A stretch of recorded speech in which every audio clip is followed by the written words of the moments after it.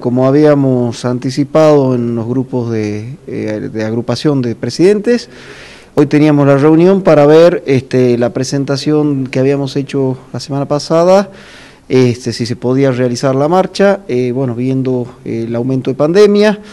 y también para llevar un poco de tranquilidad a, la sociedad, eh, se ha determinado que no haríamos la marcha, sino no haríamos movimientos de caballo a fin de evitar este, cualquier tipo de, actividad y de aglomeración de público. Llevar tranquilidad en el marco de una situación muy compleja.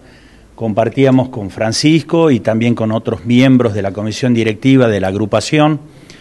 La verdad que la pandemia nos ha puesto en una situación compleja y nos obliga a dejar de lado muchas cosas. Eh, sabemos claramente que hay muchos gauchos que quieren homenajear de la misma manera que hay muchos fieles que durante eh, la semana del milagro, la novena del milagro, quiere rendir culto a sus santos patrones y como hay gente que quiere hacer otras actividades. Pero la pandemia nos impone esta realidad y yo le agradezco a la agrupación y le agradezco por este medio a todos los gauchos por eh, haber interpretado esta situación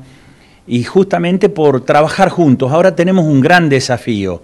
en primer lugar es superar esta instancia sanitaria y en segundo lugar,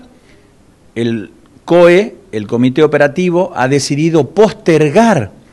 el desfile para otra fecha y por lo tanto vamos a trabajar conjuntamente. Ahora tenemos una reunión de eh, la Comisión del Bicentenario justamente para poder honrar a nuestro máximo héroe,